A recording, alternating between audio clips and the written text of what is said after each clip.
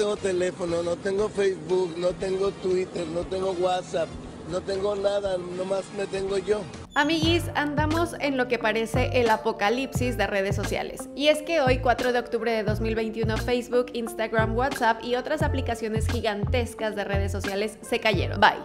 Finito. Capum. Y la tendencia número uno en Twitter, que hasta el momento es una de las únicas redes sociales que nos quedan con vida, es justo todo este relajo con el que empezamos nuestro lunes. Pero creo que nos está yendo mejor que a los miles de empleados de Facebook que literalmente están excluidos de su oficina, lo que claramente dificulta la solución del problema y es que se rumora que se vendieron más de 1.600 millones de cuentas de Facebook en la dark web. Y miren, yo solo sé que hasta el momento de esta grabación llevamos por cuatro horas sin estas redes sociales y otras como Snapchat, Tinder y hasta Pornhub. Y como es a nivel mundial, sí siento que hay unos cuantos que están perdiendo la cabeza un poquito. Y si se quieren enterar de todo lo que está pasando y si acaso este es el final de las redes sociales como las conocíamos, llegaron al video indicado porque no solo les voy a contar todo eso, también venimos con el bonito meme para animarlos un poco amigos. Así es que quédense, se va a poner bueno el cotorreo. Mi nombre es Ailet y los veré después de la intro.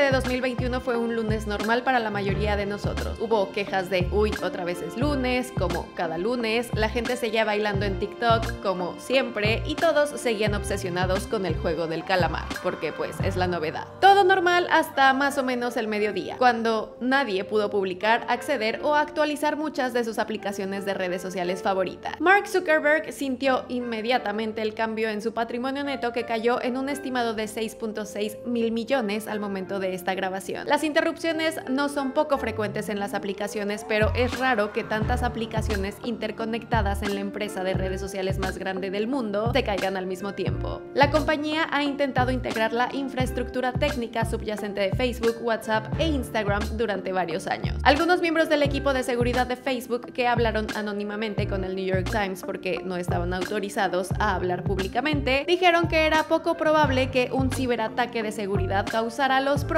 porque la tecnología detrás de las aplicaciones aún era lo suficientemente diferente, por lo que era poco probable que afectara a todas las aplicaciones a la vez. Y luego llegó el portavoz de Facebook que vergonzosamente tuvo que usar Twitter para publicar lo siguiente. Somos conscientes de que algunas personas tienen problemas para acceder a nuestras aplicaciones y productos. Estamos trabajando para que todo vuelva a la normalidad lo más rápido posible y pedimos disculpas por cualquier inconveniente. Para aumentar la inquietud de todo este relajito, una mujer llamada Shira Frankel tuiteó sobre hablar con un empleado de Facebook que declaró que los empleados de la sede de Facebook ni siquiera pueden acceder al edificio porque sus insignias no estaban funcionando para autorizar su entrada. Entonces, ¿quién diantres está detrás de todo esto? Bueno, anoche Frances Hogan, que una vez trabajó en Facebook, apareció en 60 Minutes, donde reveló que Facebook es muy consciente de los muchos daños que están causando sus servicios y que se presentaría frente al Congreso para detallar cómo es que las redes sociales están impactando a la juventud de hoy en día. Algunos también especulan que todo este incidente puede estar relacionado con los documentos de Pandora. ¿Qué son exactamente los Pandora Papers o documentos de Pandora? Bueno, son una de las mayores filtraciones de la historia con 12 millones de documentos divulgados que aparentemente contienen evidencia de que varios de los líderes mundiales más importantes están acumulando riquezas que el público no conoce. Estamos hablando de políticos como el presidente ruso Vladimir Putin o el rey de Jordania Abdullah II. También se ha revelado que los líderes de Kenia, Chile y la República Checa están potencialmente vinculados a los documentos de Pandora. Algunos dicen que esta filtración de información y documentos confidenciales es la más grande que hemos visto desde la filtración de Wikileaks, por lo que podría tener sentido que algunas personas importantes estén tratando de tapar cierta información, información que claramente no quieren que la gente vea. Y qué mejor manera de dejar a la gente a obscuras que quitándole sus redes sociales, porque claramente es información bastante sensible. Digo, si tuvieron que eliminar Facebook del Internet para evitar su propagación es porque hay más de uno bastante preocupado con esta filtración. Pero como lo dije, esta es solo una de las teorías. Lo que es extraño es que ni siquiera parece que Facebook esté realmente caído, como se ha informado ampliamente. La gente de codificación y enrutamiento que están analizando más profundamente esto dicen que Facebook no solo está caído, sino que actualmente ni siquiera existe. O sea, el dominio no está ahí. Imagínense poder comprar esa URL ahora mismo por 5.99 dólares. Claramente sería un robo, ya que vale aproximadamente 5.9 mil millones de dólares. Lo preocupante no son los informes de que las páginas de Facebook se vendan en la dark web, porque sí, los datos claramente son importantes, pero también hay muchas páginas con montones de seguidores y estas páginas se pueden revender y luego reutilizar por quien sea que haya sido el mejor postor. Y sinceramente cuando piensas cuánto dinero vale Facebook es un poco molesto que esto suceda. Un ingeniero de software de Facebook gana en promedio de 120 mil a un millón de dólares por año, por lo que hasta parece que se les paga demasiado como para que algo como esto sucediera. Pero ya hablando completamente en serio, esto no tiene precedentes amigos, algo así nunca había sucedido. Literal, desde la creación de las redes sociales en 2008, que fue el mismo año en el que Apple presentó el iPhone y cuando Wall Street se hundió, o sea, hace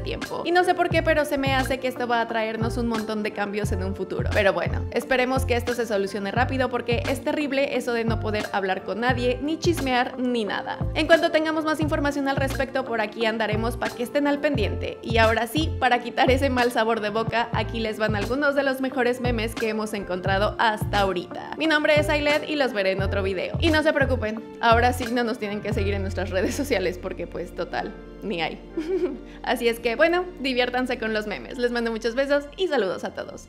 Bye.